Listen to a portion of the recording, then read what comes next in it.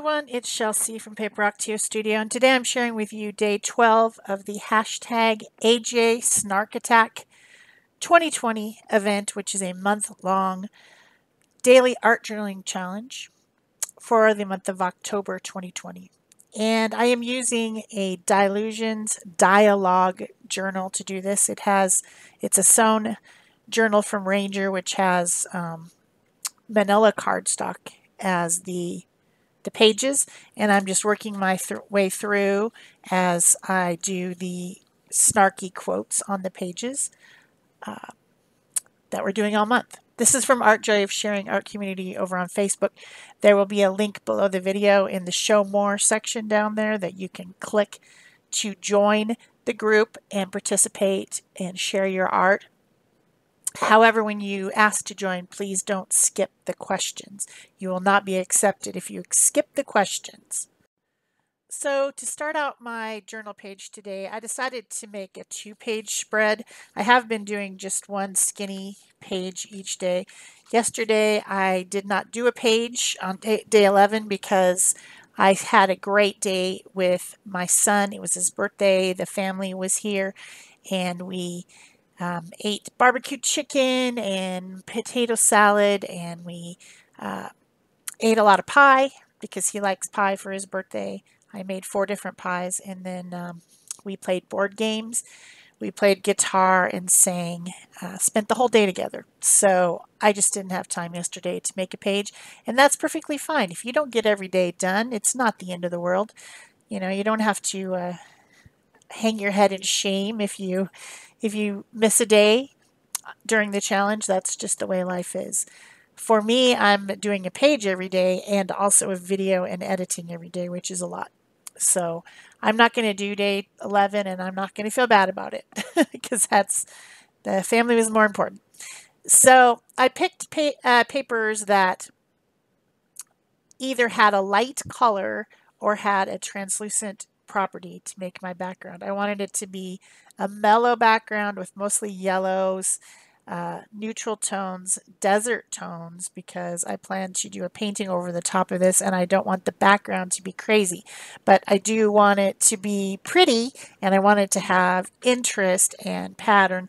I found this uh, piece of craft colored deli paper that had some Titan buff paint on it with uh, some shapes and I knew that if when I put that down over some of the other pieces that were brighter, that it would calm them down and add shape. I also found a piece of tissue paper that had some pretty pinks and oranges. Um, a lot of these pieces have a color called Naples yellow, which is to me a neutral. It's a yellow, but it's a neutral color to me. And I, I really like that color. And so a lot of them have some of that on there. And then there's also some pinks and oranges and tans and uh, I don't know, deserty colors to me, like the Sahara Desert type colors. There's also pattern and um, interest. And I'm just tearing the pages, the papers that I have, uh, using a ruler. And some of them were already in a shape. And then um, gluing them down with Liquitex matte gel medium, trying to make sure everything is really down good. Uh, it's it, this paper in this journal is manila cardstock. So already to start off with, you're not going to have perfectly flat pages. It's just the nature of it. If you're going to do mixed media with collage and things, and you're going to have some layers on there, the pages aren't going to be flat. They might flatten out, you know, once the pa the book is done and it's closed and it's, you know, put somewhere under something. It'll probably flatten out eventually, but not going to be perfectly smooth and flat, and that's just the nature of art journals.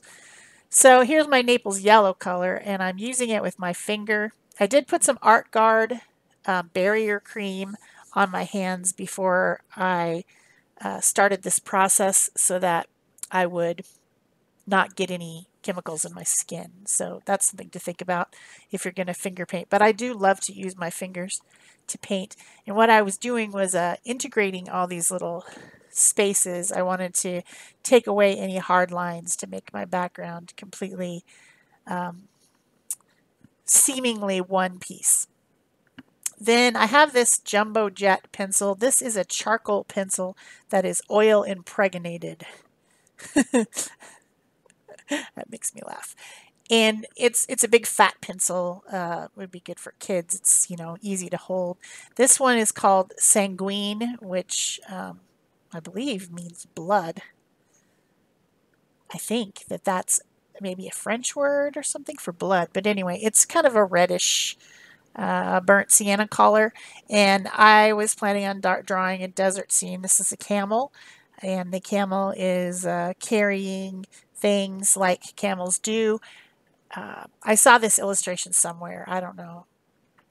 I saw something like this somewhere and I wanted to draw a camel. I like to uh, make animals. I think that animals are great characters and they often have funny uh, expressions and they do things that, of course, we as humans interpret as human behavior, although, of course, they're not being humans, they're just being silly animals. But, you know, we, we attribute these, these expressions and things to, to uh, give them emotion and try to think about them in a human sort of way.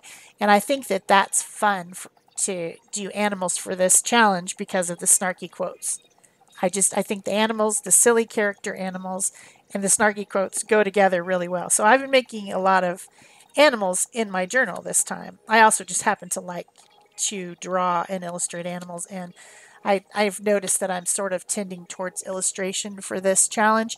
Um, I thought what I was going to do was just make it simple and make like kind of abstract pretty pages and then put the quotes on, but I find myself really illustrating the quote using some sort of a drawing or you know a stamped image or cutout image or something. So i i guess that's where i'm going. And so far there well there has been some human figures but there's been a lot of animals in this book so far. We're on day 12 so not even halfway through yet. So maybe i'll do some more human human faces and um, you know they're expressive too. So I don't know. I just I like animals. So I'm using DecoArt Media Fluid Paint acrylic paint today to paint my drawing to color my drawing I'm using paint then I'm also going to use acrylic markers to do the, the illustrating part at the end and add in details because I find markers are easy to control. I could do it with markers completely or I could do it with paint and a brush completely but I just mostly wanted to paint my camel paint the base colors of everything with these uh, media paints which I really like they're highly pigmented they're inexpensive you know a lot they're they're very comparable to like a golden fluid acrylic I would say that they're almost the same and they're so much less expensive. So I really do like these paints. And of course, they, they are the artist colors. Like I, I used raw sienna, burnt sienna, and Titan buff on the camel to do my shading and highlights. Um, I'm using primary magenta. I'm using cobalt teal hue. You know, they're they're the standard artist colors, artist pigments, and um, just done in a less expensive way, I guess. I'm not really sure why DecoArt can make them a better price than Golden can. I don't really know the difference, but I don't. I mean, I do have some Golden fluid and it's wonderful. It's wonderful paint, but it is expensive. So if you want to try something like an artist quality, I really recommend these DecoArt Media Fluid Paints. They come in one ounce bottles and just a little teeny tiny drop goes a long way because they've got a lot of pigment in them. So I'm just continuing to paint. Uh, I started out with a, a small flat brush and then now I've switched to a small round brush, very small brush, so that I have a lot of control.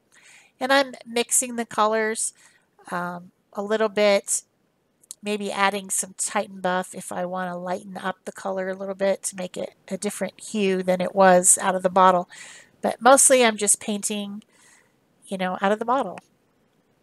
I've put some little dots of it on a paper plate to use as a palette. So there's really not much else to say about that. The the camel's carrying a lot of baskets and jars and boxes uh, because camels in the desert with the nomadic people are often used as kind of like pack mules, like we would use in the United States. We would use mules. Um, a friend of mine is is taking that trip at the Grand Canyon where you go with the mules down to the Grand Canyon to the bottom and camp overnight. I think that sounds really super cool. However, I think that I would freak out. I would be like way too nervous and worried that the the mule was gonna trip or fall off the canyon wall.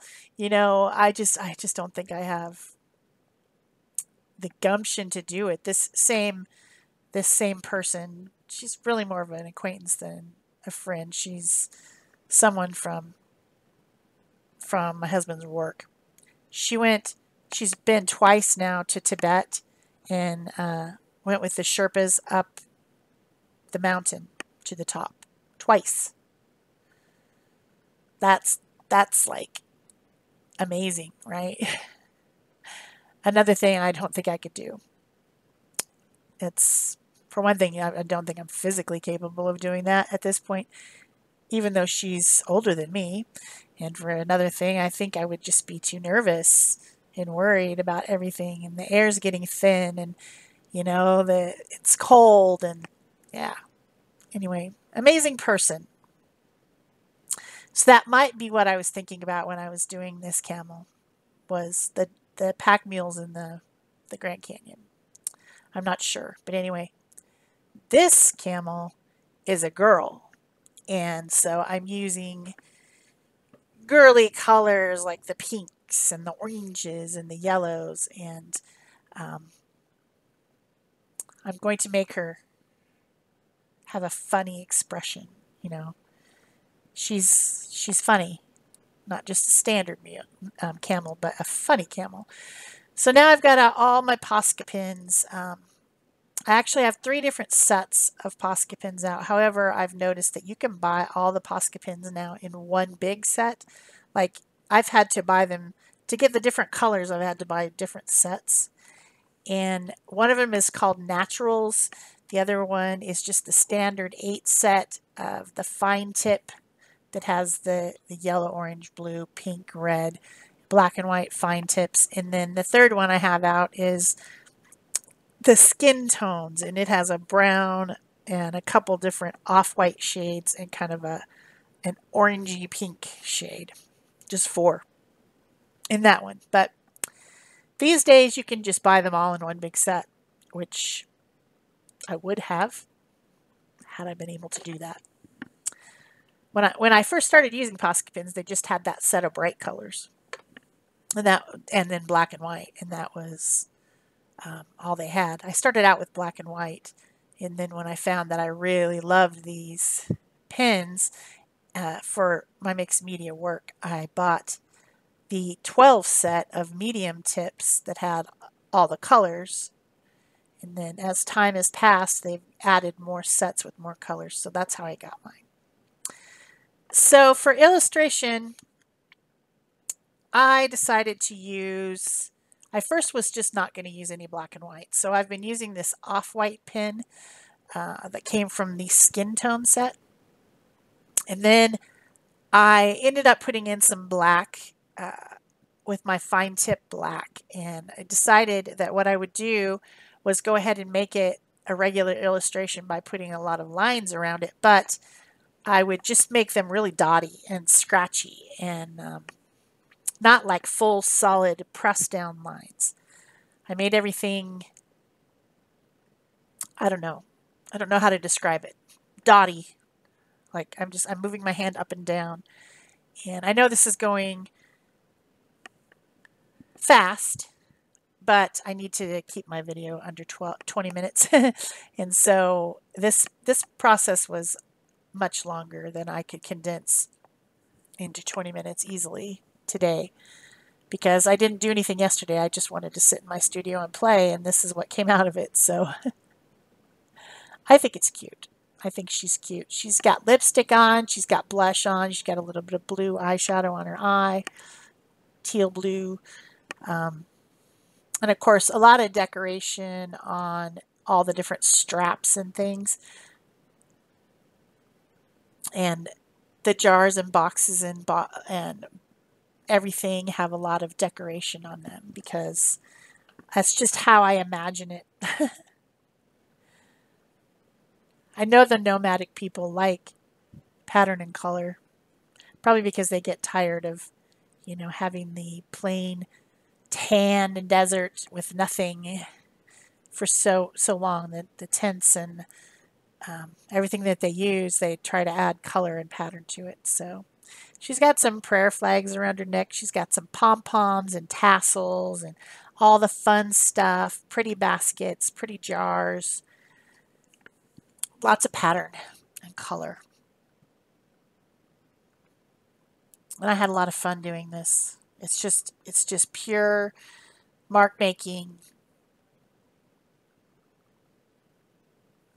Good exercise for your hand.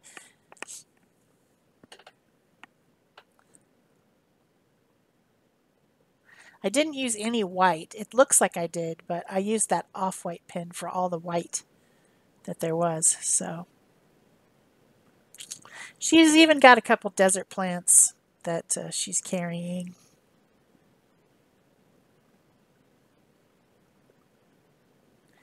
There was a there was a, a an imbalance to me um, right there where I'm putting that flower. I felt like uh, there was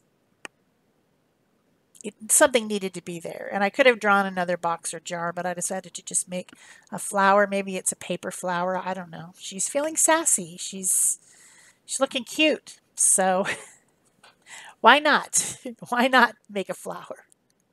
So I used a couple different pinks and that tealish green color to make a couple flowers. One on her on her head too, just to be fun. So then I was looking for the quote I wanted to use. It's it ended up being out of the way world. I've got my sassy pants on today. I thought that was perfect to go with my illustration. So I'm going to stamp that using a discontinued stamp set from Stampin' Up. Um, this one's called Brushstroke Alphabet, and I'll put a link to eBay. If you want to purchase this stamp set, you can probably find it there pretty much all the discontinued stuff seems to be on eBay.